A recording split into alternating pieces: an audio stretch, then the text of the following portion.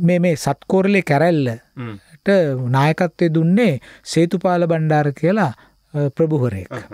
ඉති මේ සේතුපාල සෝතුපාල කියලත් සමහර තැන්වල තියෙනවා පෘතුගිසි ලේකනවල පෝතුපාල කියලත් තියෙනවා. ඉතින් අපිට පේනවා එක්ක සෝතුපාල එක්ක සේතුපාල සේතුපාල බණ්ඩාර කියන ප්‍රභූවරයාගේ නායකත්වෙන් හත්කෝරලේ රාජසිංහ රජ්ජුවනන්ට විරුද්ධව කැරල්ලක් ඇති වුණා. එතර කවුද මේ අරිට්ටකින් වෙන්ඩු පෙරුමාල්? හැබැ අපේ සමාජනං අම්මෙන් නිතරම වගේ ඕක කියනවා. අතුරු මිතුරු දඹ දිවතුරු රාජ කපුරු සෙට්ටියා.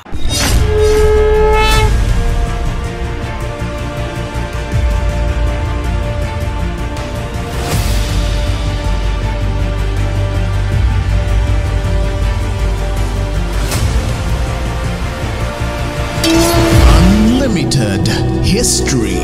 අපේ ජාතික කතාව.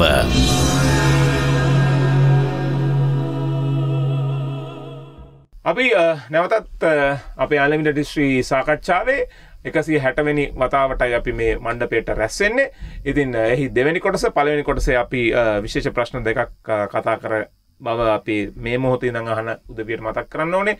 ඒ තමයි අපි විශේෂයෙන් මාලදිවෙන ලංකාවට යටත් වෙලා තිබුණාද කියන ප්‍රශ්නය කතා කළා. එක්කම ලංකාවේ ගුහා චිත්‍ර කොච්චර අතීතයකට යනවද කියන කාරණයට කතා කළා තමයි. අපි අර සුපුරුදු අපේ පළවෙනි රාජසිංහ රජ්ජුරුවෝ මේ කොළඹ කොටුවට පහරදීම පිළිබඳව ගිය සැරේ වැඩසටහන අපි කතා කරපු තැනේ නවත්තපු තැනට එන්නේ. අපි නැවත්වෙස දැන් සෙබලු පනස් දහක් සේවකයෝ හැට දහක් හරක් හතලිස් දහක් ඒකම මගේ පුංචි නිවැරදි කිරීමක් කරන්න ඕනේ. මේ අර කාලතුවක් එකසේ පණහක් ගැනිච්චයි කියලා කිවනේ ඒ කාලතුවක්කු එකසේ පණහා ඒ උන්ඩ ගැන මේ ඇත්තටම රාත්තල් හතලිස් පහක් වගේ තමයි හතලිස් දෙකක්. හතලිස් දෙකක් වගේ තමයි මේ උන්ඩයක් වෙන්නේ. මම අර අනිත් පැතර ගන හදල දැන්ව සෙමති කොට දෙයක් හැබයිති කොහොම රාත්තල් හතලිස් දෙයක් අර කාලතුවක්කොක දාලා විදිනවා ගැන ලේසි පාසු කාරණයක් තනි මනුසෙට්ට උත්සන්න බෙන. රත්තල් අතලිස් පහක් කියන එක. ඉතිං ඊට පස්ස අපි ලොකු සංඛ්‍යාලයකනයක් ඉදිරිපත් කරාපේ මේ එකසිය පනස් නවෙන් වැඩසටහන බලන්න. ඒ යුද්ධ පෙරමුණ පිළිබඳව. ඒකම රෙජිමන් දාහතකට රාජසිංහ රජ්ජුරුවෝ මේ තමන්ගේ හමුදාව කණ්ඩනය කර බෙදල තමයි මේ සටනට ගිය කියලා කිව්වා. විතරක් නෙමේ ලංකාවටේ බෝට්ටු හාරසීයක් යෙදව්වත් කියලා කිව්වා. ඒකම මුහුද ආරක්ෂාවට ඉන්දිය මුහුදු සාගර කලාපේ මුහුදු මංකොල්ලකාරයෙක් එක පොඩි ඩීල්ලයක් දාගෙන මේ ඒ වගේ ආරක්ෂාකාරී උපාය මාර්ගත් අනුගමනය කරා. ඊට පස්සේ අවසාන කරේ පරංගින්ට වතුර බොන්්ඩ බැරිවෙන්න කොළඹ කොටුවේ බේරවැව හිස් කල්ලා අර බේරව තිබිච්ච ඔරු එහාට මෙහාට කියලා අන්තිමට බේරවැව පතුලේ මේ එරුණ කියන තැනින් තමයිස අපි ගිය සැරේ වැඩසටහන හමාර කරේ. ඇතවශ්‍යම නුවන් කියන්න තියෙන්නේ මේ රාජසිංහරජතුමාගේ දැවන්ත හා දීර්ඝකාලීන සටන් ව්‍යාපාරයේදී රාජසිංහ රජ්ජුරොත් එරුණා. මොකද මොකද හේතුව අපි දැනගන්න ඕන එක දෙයක් තමයි සංග්‍රාමයක් දිගින් දිගට ඇදගෙන යන්න පුළුවන්කමක් නෑ. එහෙම කරන රටවල් එරෙනවා. එක එරෙනවා. එක එක ඒ අයගේ විනාසයට හේතුකාරකයක් වෙනවා. ඉතින් රාජසිංහ රජතුමා සංග්‍රාමය මෙහෙවපු ආකාරය පිළිබඳ සවිස්තරාත්මක කොටසක් අපි පහුගේ වැඩසටහනේද ඉදිරිපත් කලා එකන එහෙම කියනකොට අපිට පොඩි හැඟීමක් දැන්නවා. තමයි. හැබැයි ඕක කරන්න ගිහම කොච්චර වියදන් වෙනවාද කියන හැඟීම අපි දැන්න එක දන්න හෝ ඉතින් කොහමහරි රාජසිං රජතුමාගේ සටන් ව්‍යාපාරය ගැන අපේ වැඩසටහනෙන් පස්සේ අපේ හිතවත්තු ශ්‍රාවකයෝ ප්‍රේක්ෂකයෝ කීප දෙනෙක්ම මට විද්‍යුත් ඇපෑලෙන් දැනුන්දීලා තිබුණා. අපි කිසි දවසක එහෙම දැනගෙන හිටියේ නෑ. ඉතිං අපි මේ මේ තොරතුරු අපි දරුවන්ටත් උගන්නන්න අවශ්‍යයි. ඒ විතරක් නෙමෙයි අපිට මුල්ලේරියාවේ සටන පිළිබඳවත් මේ වගේම සවිස්තරාත්මකව අපි අහලා තියෙන මුල්ලේරියාවේ සටනක් උණයි කියලා. නමුත් රාජසිංහ රජතුමා ඒ කාලේ ටිකිරි කුමාරයා හැටියට හිටියේ. ටිකිරි කුමාරයා කොහොමද මේ සටන සැලසුම් කරේ කියන එක ගැන අපිට ඉදිරිපත් කරන්නේ කියලා. ඉතින් දැන් හැමදාම සටන් ගැනම කී කී ඉන්න එක ටිකක් යෝග්‍ය නොවන නිසා අපි ඒ කතාව පස්සේ වෙලාවක අපි කියන්නම් ලංකාවේ සටන් පිළිබඳව ඒ කියන්නේ සටන් තාක්ෂණය පිළිබඳව. එකන අපි හා අපි වෙඩි බෙහෙත් පාවිච්චි කරපු හැටි ගිනිියාව අපි නිෂ්පාදනය කරපු හැටි මොකද එක ප්‍රේක්ෂකයෙක් මට ලියලවල තිබුණා. අපි දැනන් හිටිය නෑ. අපි තුවක්කු පාවිච්චි කරයි කියලා. අපි ඒව ගැන දැනගෙන හිටියයි කියලා විශ්වාස කරේ නෑ කියලා. ඉති ඇතවශයෙන් අපිට තුවක් ඕනුනේ නෑන. අපි සාමකාමී ජාතියක්න අපි කොහොම රටරටවල්ල එක යුද්ධ කරන්න ගියත් නෑන. පරාක්‍රම් බාහු රජ්ජුරුවර සංග්‍රාමයක් කර ඇරෙන්ඩ ඒකත් කෙලවර වනේ අවසානයකින් තොරවනේ අර මේ දකුණු ඉන්දියාව කරපු සටන් ව්‍යාපාරය. ඉතින් අපි හුඟක් රට ඇතුළේ නොෙක් ඔය ආරවුල් දේවල් මේ ගැටුම් ඇති වුණා මිසක් මේ රට ඇතුළේ දැන් චෝල ජාතිකය ඇවිල්ල වුණත් රට ඇතුළෙන අපි සටන් කරගත්තේ. ඉතින් මේ එහින්ද අපට එහෙම ලොකු සංග්‍රාමික තාක්ෂණයක් දියුණු කරන්න එහෙම ලොකුවමනාවක් තිබුණෙත් නැහැ. ඉතිං මේ නමුත් පෘතුගීසි මේ බටහිර ජාතින් ලංකාවට ආවට පස්සේ නොබෝ කලකින් අපි ඒ තාක්ෂණය අත්පත් කරගත්ත බව පෙන්වන්න සාක්ෂි තියෙනවා. මේ සිංහල තුවක්කු ගැන සිංහල ගිනිියාවි ගැන අපේ වාසකමුත් තිනසේ කොඩිතුවක්කු තුවක් කොඩිතුවක්කු කියලා. ඉතින් මේ එහෙම තියෙන ඉතින් අපි ඒව ගැන පැහැදිලි කරන්න කැමති තාක්ෂණය වැඩ පොළවල් ඒවා කොහොමද තිබුණ කියන ගැන පිදිරි වැඩසටහනකදී. ඉතින් දැන් කොහොමරි අපි මේ කියාගෙන ගිය මේ කතාව ගලායාමට අපි ඉඩ හසර සලස්සල දෙන්නත් වුවමනයිනුවන් ඉතිං මේ කොහොම වෙතත් අපි පහුගිය සතියේ පෙන්නුම් කරපු ආකාරයට රාජසිංහ රජතුමා ඉතාම දීර්ඝ සංග්‍රාමික ව්‍යාපාරයකට පටලැවිලා හිටියා පෘතුගීසින් එක්ක ඉරි ඒක රාජසිංහ රජතුමාට විතරන්නේ මේ පෘතුගීසින්ටත් විශාල හිසරදයක් බවට පත්වෙලා තිබුණ මේ නිරන්තර ගැටීම්. මොකද පෘතුගිසි ජාතින් ලංකාවට ආවේ. ගැන පෘතුගිසි ජාතින්ට ඔය වගේ ඔය වගේ ප්‍රතිවිරෝධතාවක් ඔවුන්ගේ වෙන රටවල්ල ඇති වුණේ නෑ අපේ රටේ තමයි එම ලොකු ප්‍රතිවිරෝධතාවක් දැක්වේ. ඉතින් ඇත්තෙම මේ ලංකාවේ ඉතිහාසේ ලංකාවේ සංස්කෘතිය දිහ බලනකොට අපි තේරුම් ගණ්ඩ තියෙන අතිවිශේෂ ලක්ෂණ තමයි මේවා. අපි ඒ අය තරං මුහුදු ගමන් පිළිබඳ දක්ෂයන් නූනත් පෘතුගීසින් වගේ ඒවගේ මේ වගේ මූදු හමුදාවක් පිළිබඳ ශක්තියක් අපට නැති වුණත් ඒවගේ ඔවුන්ට තිවිච වැඩි බෙහෙත් බලය වගේ බලයක් අපට නොතිබුණත් අපි ඒ සියල්ලම හිමි ජාතියත් එක්ක මුහුණට මූුණ සටන් කරලා ඔන්න මේ රටින් එලවා දමීමට අවශ්‍ය කරන කටයුතු රාජසිංහ රජ්ජුරුව වගේ කලා සමහ රජවරු ගොළඟ උදව්විල්ලගෙන එගොළන්ගේ බලය ආරක්ෂා කරගන්නත් මහසිගත්ත බව අපි දැක්කා. විශේෂයෙන්ම දොංජුවන් ධර්මපාල වගේ අය කෝට්ටෙ හිටපු ඉතාම ඉතාම යටහත් පහත් ලෙස තමයි ගොලොත් එක කටයුතු කළේ. ඉති ඒවා එක ඇට පාලකින්ගේ තින දෘෂ්ටිවාද ඒ පාලකින්ගේ තින පෞරුෂයන් පිළිබඳ ප්‍රශ්න. ඒ අපට සාමාන්‍ය කරණය කරන්න අමාරුයි ඉතිහාසය තුළ. අපි දන්න රජවරු කියන පාලක ගැන පුද්ගලයෝ. ඉති අයට බලපාන ආකල්ප ඒගොල්ලු ලෝකයේ දකින හැටි ලෝකෙ විග්‍රහ කරගන්න හැටි අනුව තමයි ඒගුලන්ගේ ක්‍රියා කලාපය තීරණය වෙන්නේ නැත්තං ඉතින් කොළඹ නගරය ඔප්පෝකින් ලියල බාර දෙන්න ෑන වෙන රටකට ඒ අය දැකපු හැටි. ඉතින් කෙසේ හෝ වේවා මේ සටන් ව්‍යාපාරයෙන් පස්සේ රාජසිංහ රජ්ජුරු දිගින් දිගටම ප්‍රහර එල්ල කරා. එල්ල කරාට පෘතුගීසීනුත් දිගින් දිගටම ප්‍රහර එල්ල කරා. රාජසිංහ රජ්ජු අවසානය දැනගත්තා මේ ගොඩබිම කොයිතරං දුරට මාර්ග බාධක දාලා එගොල්ලන්ට යන සැපයුම් පාලනය කරත් ඒගොල්ලොන්ගේ පෘතුගීසි කොටු එක පැත්තකින් මුණ දෙල තියෙන ඉන්දියන් සාගරයට. ඉන්දියන් සාගරය රැකවල්ලාලා මුරකාවල් යොදන නොයොදන තාක්කල් පෘතුගිසින් සමඟ සටන් කිරීමෙන් ජයග්‍රහණයක් ලබන්න බැයි කියලා. මොද හිටපුුවන් ගෝවෙන් වාධාරයනවා හරි ඔය කොයි මුූදු කොල්ලකාරයෝ හිටියත් ඉතින් ඒගොල්ලන්ටත් තියෙන සීමිත බලයක්නේ. ඇති මේක කරගෙන යන එක එතරම සාර්ථක වෙන්නේ නැති බව පෙනුණා. කොමහරි මේ මේ වෙනකොට මේ පළවෙනි රාජසිංහ රජතුමාගේ සටන් ව්‍යාපාරය සහ දේශපාලන ව්‍යාපෘතියයි ඉතාම බලවත් තැනක හිටවු පුද්ගලයෙක් තමයි වික්‍රමසිංහ මුදලි. අපි එකසරයක් මතකයි සුන්දර කියලා. විරසුන්දර බණ්ඩාර ඝාතනය කරන්න. ඝාතනය කිරීම පිළිබඳව එකට ඉදිරිපත් වනෙත් මූලික වුනෙත් වික්‍රමසිංහ මුදලිනේ. එතකොට වික්‍රමසිංහ මුදලි තමයි පළවෙනි රාජසිංහ රජ්ජුරුවන්ගේ ඔය ශිවආගම වැළඳගන්නා තුරු. වැළඳගත්තර පස්සෙත් ඔහු ඔහු අනු අනු අනුගාමිකයෙක් විතරක් නැහි ඕ උපදේශකයෙක්ගේ තත්ත්වේ වැඩ කලා ඔය හුඟක් වෙලාවට සටන් ව්‍යාපාරවලට මේ උපදෙස් දීලා සැලසුම් කිරීමේදී වික්‍රමසිංහ මුදලි තමයි ලොකු තැනක් ගත්තේ. දැ හැබැයි මෙන මෙහම ප්‍රශ්නයක් වුණා. දැ කොළඹට කරපු ප්‍රහාර රාජසිංහ රජතුමා හිතූ තරන් සාර්ථක වුණේ නෑව දැවන්ත ප්‍රහාර සංවිධානාත්මක ප්‍රහාර. නමුත් ඒ ප්‍රහාර සාර්ථක වුණේ නැත්තේ ගොඩබිමින් කරන ප්‍රහාර වල ප්‍රබලත්වය හා සාර්ථකත්වය ඉදිරියට එනකොටම පෘතුගීසින් මුහුදු පැත්තෙන් ලබාගන්න ආධාර උඩ ගොඩබිමට ප්‍රහාර එල්ල කරානි පැත්තෙන්. එතර මේක අසමතුලිතතාවක් ඇවිල්ල එක පැත්තකින් නිතරම ගෝවෙන් ආධාර ඉල්ලල පෘතුගීසුණු තෙම්බත් වුණා මේ පැත්තෙන් ගහලා ගහලා ප්‍රයෝජනයක් නැති වෙනකොට රාජසිංහ රජ්ජුරුත් මේකෙන් අදහරයට පත් වුණා. ඔය දෙගොල්ලටම වැඩිය බරපතල ප්‍රශ්නයකට මුණදුනේ රටේ ජනතාව.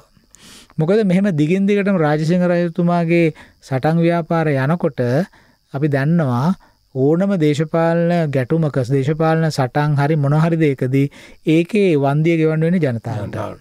රජතුමා ගෙදරින් ගෙනලා වියදම් කරන්න? නෑන ජනතාව තමයි එක ගෙවන්න ඕන. ඉතින් ජනතාවටත් මේක බොහොම මේ එපා වෙලා තිබුණේ. දැම් බලන්න මේක වෙනදේ යුද්ධය දිගින් දිගට ඇදී ඇද යනකොට එක පැත්තකින් ජනතාව අදහිරයට පත්වල ජනතාව රජු කරේ කලකිරීමක් ඇති කරගන්න හැමදාම යුද්ධන. යුද්ධ පවත්තාගෙන යන්ඩ බදුමුදල්වලින්න කරන්න නයගණ්ඩෝනනේ ඉතින් මේ අපට නායගැනීමක් ගැන නම් මොකොත්සාගයක් පේෙන්නෑ නමුත් බදුබර වැඩිවෙන් ඇති ජනතාවගේ අකණ්ඩ බදුවය කර ගැනීම. ඉතින් එතවට ජනතාව කල කිරෙනවා ජනතාව කලකිරලා ඔය කලකිරීම විධ මුහුණුවරින් ඔලින් එලියට එන්න පුළුවන්. එතකොට දර පැත්තෙන්මක දුනේ රාජසිංහ රජතුමාට වික්‍රමසිංහ මුදලි මේ ඔක්කොම උපදෙස්තිල වැඩේ කරගෙන ගියාට සටන අසාර්ථක මෙච්චර ලොකු සටනක් කරලා. ඒ නිසා රජුත් වික්‍රමසිංහ මුදලි කෙරෙහි යම්කිසි කලකිරීමක් ඇති වුණා. රටේ අනිත් අයත් දැ මෙයානේ ඔක්කොම සටන් දිනෙවේ මෙයා කෙරෙහි කලකිරීමක් ඇති වුණා මේ අල්ල මේ අතර තුර වික්‍රමසිංහ මුදලි අභහ ප්‍රාප්ත වුණා. මොකද ඔහුගේ වයසතුට අවුරුදු හැත්ත පහක්. නමුත් ඇතැම් ලේඛනවල තියෙනවා වික්‍රමසිංහ මුදලිට විරුද්ධව යම් යම් අප්‍රසාදයක් ජනනය වෙනකොට මේ එයා ඒ අවුරුදු හැත්ත පහෙදි මිය යන්නේ කොළඹ ප්‍රහාරය සිද්ධ වෙලාගේ අවසන් භාගෙදී වික්‍රමසිංහ මුදලිට වස දුන්නයි කියලා. මොද ඒකාලි සිරිතක් තිබුණ හුඟක් ඝාතනය කල තින වසදීලා. එතකොට වසත් එක්ක ලොකු සම්බන්ධයක් තියෙනවා. ඉතින් මංහිතන මේ වගේ හේතු නිසාම් වෙන්ඩ ඇති අපට මේ වස පිළිබඳව අපේ වෛද්‍ය සම්ප්‍රදායත් දේශය වෛද්‍ය සම්ප්‍රදායත් තියෙන වස විස වෙදකං තියෙන සර්ප වෙදකම ඇරුණට පස්සේ වෙන වස වෙදකමුකුත් තියෙනවා. එතකොට මේ වික්‍රමසිංහ මුදලි අබහ ප්‍රාප්ත වුණා. කියවෙන හැටිට නඟ හුට කවුරරි වස දුන්න. ඔහු මිය ගියා. එතද රජ්ජුරන්ට හිටපු ලොකු අත්තකුත් නැති වුණා. හරි? එක එක පැත්තකින් තිබිච්ච දෙයක්. ඒ නිසා මේක අනිවාර්ය ප්‍රතිපල්ලය වනේ රජසිං රජුරු පසු බැහැපු එක. එතකොට දැම් බලන්ඩ ඉතාම සංකීර්ණ යුද ව්‍යාපාරකට ගිහිල්ලා ඉති මේක වාසය වනේ පෘතුගීසින්ට. පෘතුගීසින් ප්‍රතිස්ථාපනය වුණ නැවත. ආය ලොකුස් එගොලු පන්න පන්න රජසිංහට පහර දෙන්න කියනෑ. නමුත් ඒ අතර මැද්ද එක සිද්ධියක් වාර්තා වෙනවා. තැන් මම කිව්ව ජනතාව මේ කලබල වුණාන ජනතාව අතර නිකං අර්බුද තත්ත්වයක් ඇති වුණා. ඒ යුද මෙහෙයුම් නිසාම. එති අන්තිමට රජ්ජුරූ මේ සත්කෝරලි පැත්තේ තමයි මේ කැරල්ල පටන් ගත්තේ. රජ්ජුරන්ට විරුද්ධව. මේ ඉතින් රජ්ජුරූ මේ මේ සත්කෝරලේ කැරැල්ලට නායකත්වය දුන්නේ සේතුපාල බණ්ඩාර කියලා ප්‍රභුහරෙක්. ඉති මේ සේතුපාල සෝතුපාල කියලත් සමහර තැන්වල තියෙනවා පෘතුගිසි ලේකනවල පෝතුපාල කියලත් තියෙනවා. ඉතින් අපට පේන එක්ක සෝතුපාල එක්ක සේතුපාල සේතුපාල බණ්ඩාර කියන ප්‍රභූවරයාගේ නායකත්වෙන් හත්කෝරලේ රාජසිංහ රජ්ජුවනට විරුද්ධව කැරල්ලක් ඇති වුණා. එතකොට දැ මේම තමයි දේශපාලන ගතික. රාජසිංහ කියල ගැන නම ඇහුවත් වෙවුලල යන තරමේ පාලකෙක්. එතර ඔහු මේ විශාල් සටන් ව්‍යාපාරයක් කලා එහුගේ පෞද්ගලික මේ ලාබෙ පිණිසම්ම නෙමෙයි. එක රටේ අභියෝධ්‍ය සඳහත් ඔහු සටන් කලා. නමුත් ඒ කොහොම දේවල් කරත් දේශපාලනය කරන ක්‍රියාවල් මහජනයාට බරක් වනෝන මහජනය අය ඔස්වාගෙන ඉන්නේ සුළු කාලය කෙනෙක තේරුම් ගන්න ඕන. එක විධ මුහුණුවරකින් ජනතයට ජීවිතයක් තිය නොන්නේ ජීවත් ජීවත්ය නොනේ රජ්ජුරෝ ජීවත්වීම සඳහා කරන්න මහජනයක් ජීවත්වීම සඳහයින්නේ ඉති හැම කෙනගේම මූලික පරමාර්තය ජීවත්වීම හොඳින් කරදරයක් නැතු ජීවත්වීම දරු පවුල්ල ඉන්න පිරිමින් හැමදාම මේ යුද්ධට ඇවලා ගොවිතැන් බත් කර නොකර ඒ ඒවගේ ජීවිතයක් ගත කරට කවරුත් කැමති කවුත් කැමති නෑන ඉතින් දැන් ඔය සත්කෝරලේ රාජසිංහට විරුද්ධ සෝතුපාල බණ්ඩාර කැරල්ලක් ඇති කරා කියන එකත් අපට පේනවා මේ ඉතිහාසය තුළම තිබෙන ගම්්‍යතාවක්. නොෙක් අවස්ථාවල එහෙම වෙනවා. ඉති එනිසා ඒ අපි දේශපාලනය තුර තේරුම් ගත යුතු ප්‍රවණතාවක්. ඉතින් මේ රාජසිංහ රජතුමා මොකද කළේ මේ කැරැල්ල වහවහා මර්ධනය කරන්න ඕනේ කියලා මේ සත්කෝරලේ කරල්ල මර්ධනය කරන්න ගියා. ඒ යන වෙලා වෙනුවන් කඩුවෙලදී පෘතුගීසි බලෑනි දෙකක් දෙපැත්තකින් රාජසිංහ රජ්ජුරන්ට ප්‍රහාරයක් එල්ල කරා.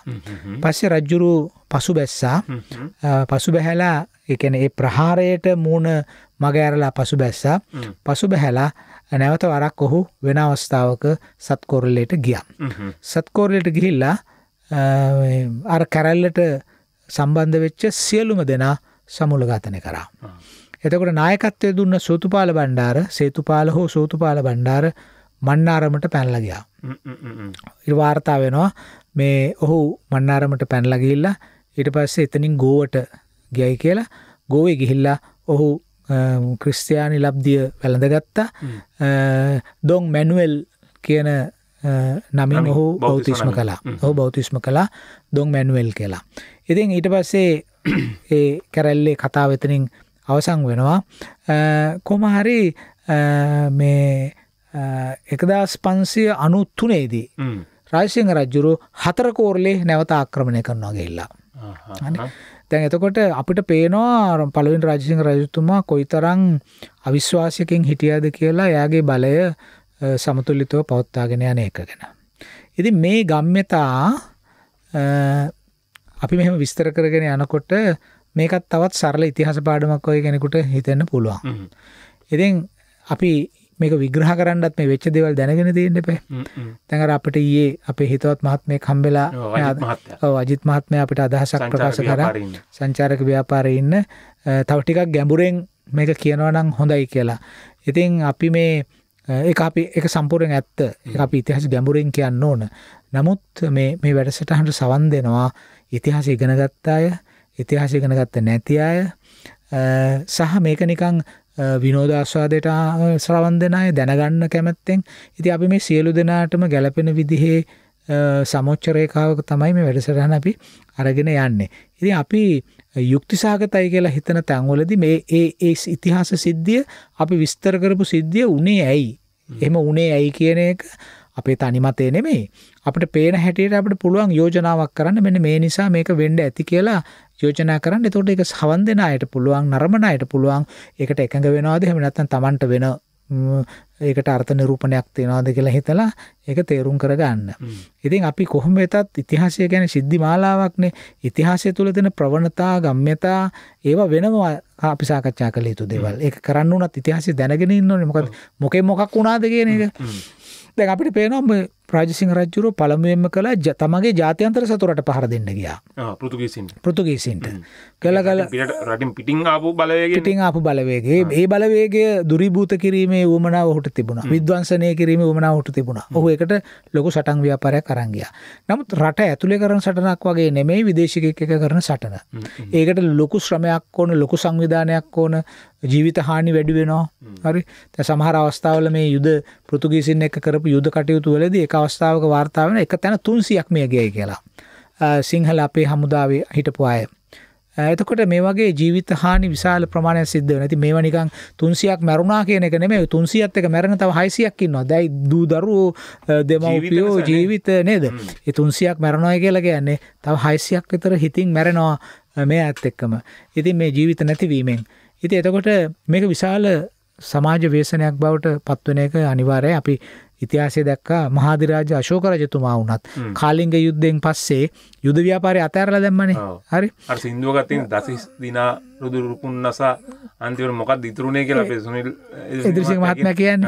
ඒක තමයි අශෝක රජ්ජුරුත යාගේ ලිපිය එක කියන්නේ බෙහෙරි ගෝසෝ අහෝ දම්ම ගෝසු මම යුද බෙරය නවතා ධර්ම බෙරේ වාදනය කරන්න පටන් ගන්නවයි කියලා. ඉති ඒක තමයි කරන්න වෙන්නේ. දිගින් දිගටම යුද බෙර ගහන්ඩ බෑ යුදබෙර ගැහුවොත් එහෙම බෙරේ පැලෙන එක විතරක් නෙමේ වෙන්න බෙර ගහන කෙනාටත් ප්‍රශ්නයක් ඇති වෙනවා. ඉති නිසා අශෝකත් ධර්ම බෙරේ වාදනය කරන්න පටන්ගත්තේ නිසා. ඉති රාජසිංහ රජතුමාටත් ඒ වගේමයි රයිසිං රජතුමා පෘතුගීසින් සමඟ යුද්ධ කරා එක කරගන්න බැහැ පෘතුගීසින්ට තමාරුයි රජසිං රජුනට තමාරුයි නිසා එක හෙම දියාරු වෙලගයා. පෘතුගීසි ගියත් නෑ රටින් රාසිං රජුරට ජයග්‍රහණයක්ත් වනෙත් නෑ. ඊට පස මෙහෙම වෙනකොට ඒ යුද්ධ නිසා ඇතිවුණු ප්‍රතිවිපාක කල්මනා කරණය කරන රජුරන් සිද්ධ වුණ. පලවෙනි එකව සත්කෝරණය කරැල්ල. සුතුපාල බණ්ඩාරගේ මූලිකත්වයෙන් ඇති වෙච්ච. ඊට පස්සේ හොට ඕනුනා නැවත දැන් ඉළඟට හුට තියෙන ප්‍රශ්ය තමයි අර යමසිංහ බණ්ඩාරලා කඳුඩ රටඉන්න.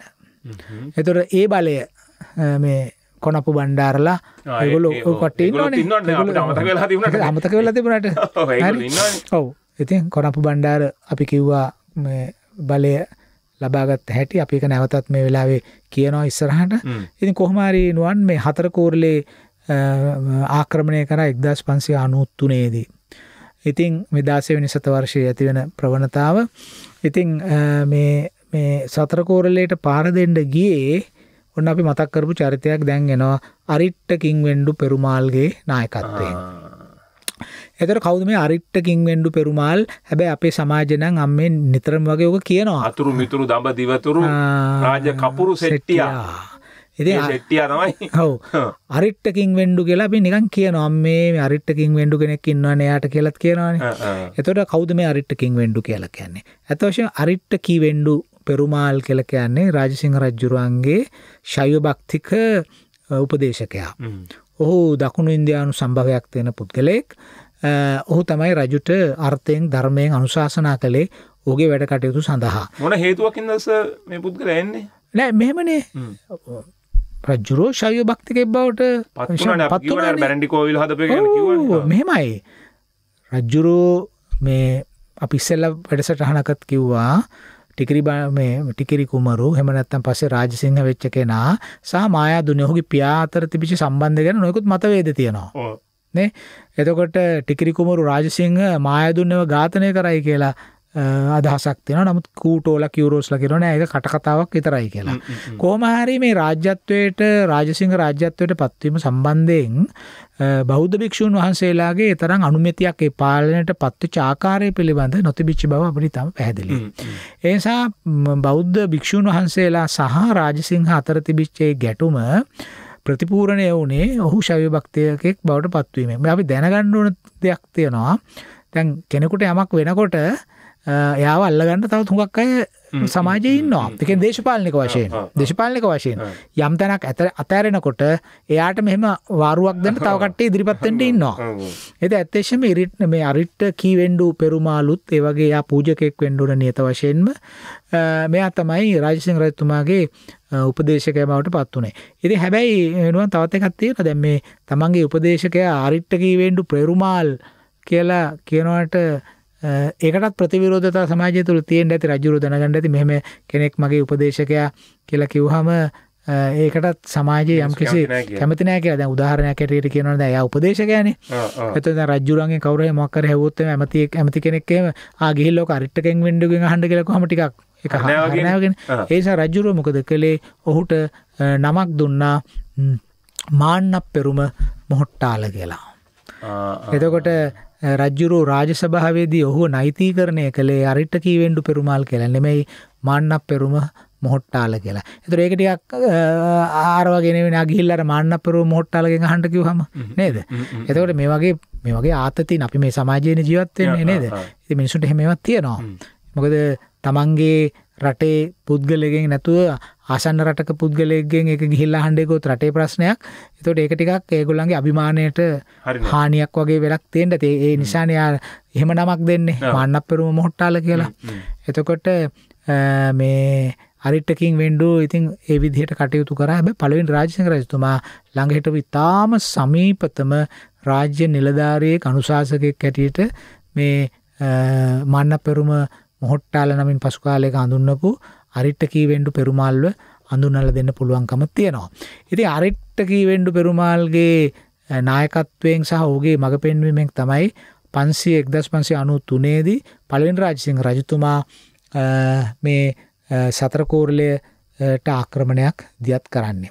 හැබැයි මේ වෙලාවේ අ, මේ අ, උඩරට පාලනය කරේ කොනපු බණ්ඩාර අපි දන්නවා ඔහුන පලවෙනි විමල ධර්ම සූරිය නමින් රජවෙන්නේ ඉතින් මේ කොහොමාරි අරිට්ටකී වෙන්ඩු පෙරුමාල් ගමන් කරලා බලන දුර්ගය දක්වා ගියා.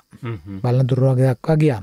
කොහමහරි මේක මේ ආරංචි වෙච්ච කොනපු බණ්ඩාර බලන කපොල්ල අවහිර කලා මුරකාවල් දාලා එක අවහිර කර එන්ඩ දුන්නෑ එන්ඩ දුන්නෑ විතරක් නෙමෙයි ලොකු ප්‍රහාරයකුත් එයා එල්ල කරා. රාජසිංහ රජ්ජුරු ඔය මේ ගිහිල්ලා දැන් අරිටකී වෙන්ඩු ගිහිල්ල බලන ස්ථාපනය වුණා. ඊට පස්සේ රජ්ජුරෝ ඒඊළඟට ගිහිල්ල මාවෙල පැත්තෙන් ගිහිල්ලා බලනට ගිහිල්ල බල බලනට ගිය නෑ. බලනටයි කඩුගන්නාවටයි ලොකු ප්‍රහරයක් එල්ල කරා. පලින් රාජසිංහ රජ්ජුරු. හැබැයි මේක මර්ධනය කරන්න මොකද කඳ උඩරට භූවිෂමතාව අරම ඔක්කොම ගැන කොනපු බණ්ඩාරට හොඳ අවබෝධයක් තියෙනවා කන්ද මනුස්සයන. ඔව අනික පහලින් උඩට පහර දෙනට වැඩි උඩින් පහලට පල්ලෙහාට පහර දෙන එක පෙරලන්න පුළුවන්. පැරලන්ඩ පොක ලේසිනේ ඉතිං රාජසිංහ රජුරන්ට ලොකු පසුබෑමක් ඇති වුණා කොනපු බණ්ඩාර එල්ල කරපු ප්‍රතිවිරුද්ධතාවෙන් එනිසා රාජසිංහ රජ්ජුරට පසු බසින්න සිද්ධ වුණා සිද්ධ වුණාම මේ කාලෙ තවත් කරදරයක් වුණා සීතාවක රජුවන්ට. ඔවු ඒ කරදරේස අපි ඉදිරියට ගැනීම කරදර ඉදිරියට ගෙනියන එනට විරාමයක් අපිට කරදර කරනවා ලබා ගණ්ඩ ඕන කියලා මැදිරියෙන්. අපි එහෙමනං මේ විරාමයට යනවා. ඒකම අපට ලියනන්ත පැල්පෙට්ටි විස හතලිස් පහක් කොළඹ ඒකම අප බලනය ඩිස්ක්‍රපෂන් එක තියෙන මාර්ගෝස්සේ අපට YouTube ගෙන කමෙන්ට් විදිහට පුළුව ප්‍රශ්නයම කරන්න. නැත්තම් අනිකුත් අ, තියෙන අ, මාර්ගොස්සේ අපිට අ, ප්‍රශ්නයමු කරන්න. අපි එන්න විරාමයක් ගන්නවා. විරාමෙන් පස්සේ අර කරදරේ මොකක්ද කියලා අ, අපේ මහචාරතුමාගෙන් අහලා බලමු. ඊළං කොටසට මෙතනින් තමයි යන්නේ.